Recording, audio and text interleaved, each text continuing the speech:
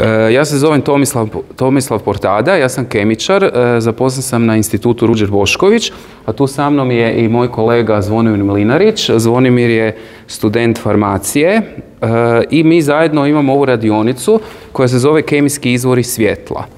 I sad, najjednostavniji kemijski izvor svjetla je svijeća. Šta smo rekli, od čega je svijeća napravljena? Svijeća je napravljena od voska, od pčeli ili parafina. Ili parafina, može biti dobro.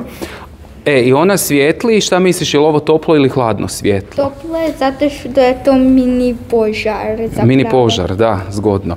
E, a onda osim toga, ti postoje i ovakvi izvori svjetla, tu su isto nekakve kemikalije i onda ovisno o tome koje kemikalije stavimo unutra, možemo dobiti različite boje. Ali za razliku od ovog, što si rekao, mini požara, šta misliš, je li ovo toplo?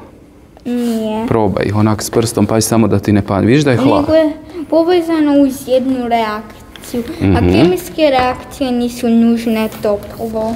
Da, a tu je na ovom papiru nam je nacrtano što se unutra sve nalazi. Znači, to, to su zapravo, imam tu samo da ti pokažem, znači, e, e, tu u tom svjetlećem štapiću ili svjetlećoj narukvici, e, unutra ti se nalazi jedan ovako stakleni dio gdje se nalazi jedna tekućina, a u ovoj plastici se nalazi druga tekućina. To ti je slično kao što u jaju ima žumanjak i bjelanjak. I onda kad ovo ovako presavineš, onda taj stakleni dio pukne i onda se te dvije tekućine pomiješaju i onda dođe do kemijske reakcije koja onda izgleda ovako. Tu smo ih napravili u epruveti, da vidiš kako to izgleda u epruveti. E, a postoji još jedna treća vrsta, to se zove triboluminescencija. Postoje neki posebni kristali, kao recimo ovi tu, koji kad se mrve, onda svijetle, gledaj. Vidiš? Hoćeš ti probati.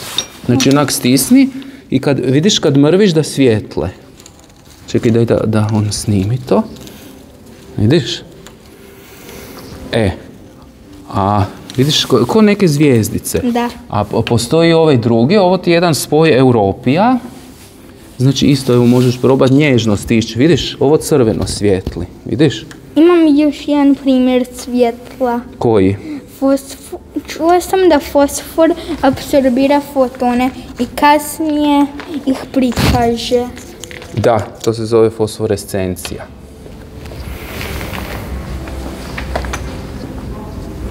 A jel znaš što je ovo?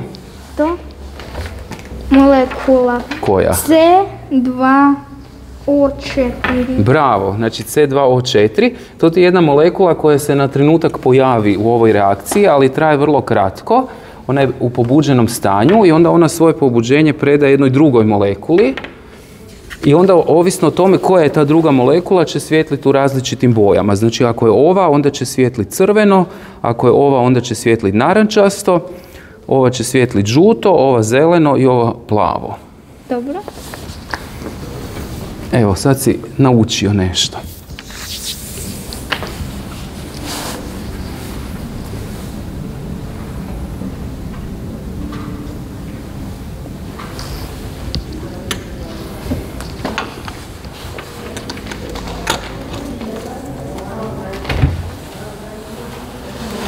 Evo, ako hoćeš, možeš još probati ovog. Ne trebaš O- fora. o- ovo je crveno. Znamo. Možete li svih boja duge? a ovo zeleno. Evo,